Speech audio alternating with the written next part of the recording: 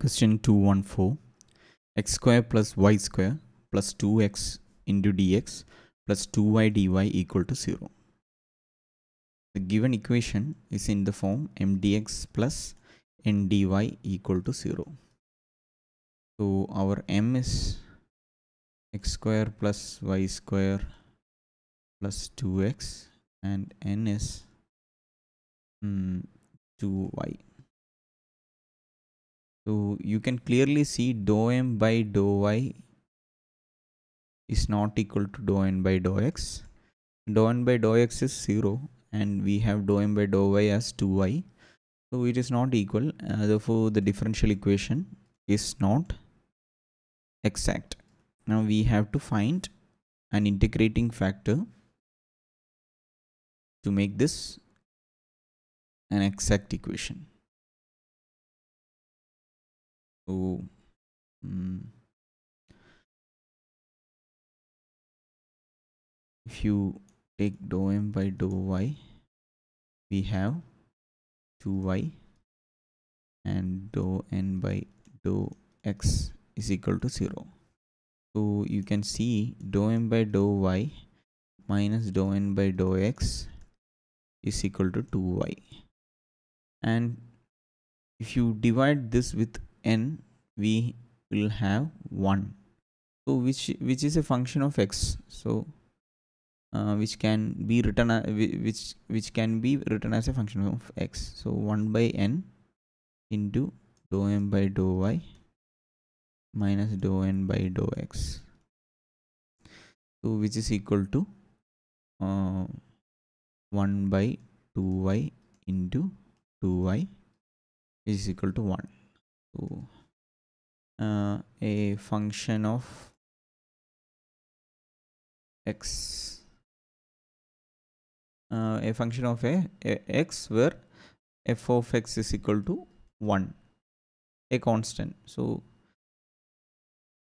uh, in such cases we can write our integrating factor is e raised to integral f of x dx so we have e raised to integral f of x is 1 dx which is e raised to x. So our integrating factor is e raised to x. Now we'll just multiply throughout with e raised to x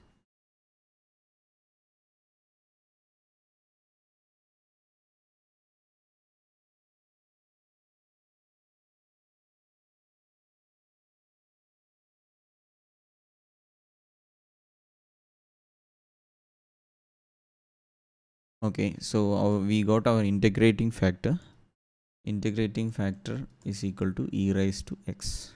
So if you multiply throughout we have e raised to x into x square plus y square plus 2x uh, dx plus 2 e raised to x y uh, dy equal to 0 so here if we take dou m by dou y we have equal to 2y into e raised to x. And dou n by dou x here is e raised to x become uh, so this is 2 e raised to x y. Therefore as you can see dou m by dou y is now equal to dou n by dou x uh, and the differential equation is exact. Now solution we can write solution as integral m dx by constant plus integral terms in n without x dy equal to a constant. So integral m dx is e raised to x into x square plus y square plus 2x dx plus terms in n without uh, uh, terms in n without x is 0 so second there is no second integral vanishes to 0 so is equal to c. Now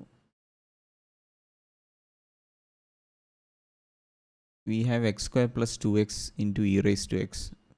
So we will have to use product product rule um, sorry integration by parts and for y square term y square is a constant so we can take that outside. So y square e integral e raised to x become e raised to x. So e raised to x plus e raised to x into x square plus 2x um x square plus 2x dx is equal to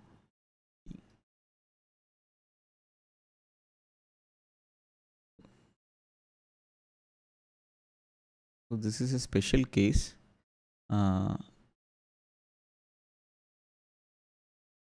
I'll just if there is an integral integral e raised to x into f of x plus f dash of x dx we our integral becomes e raised to of e raised to x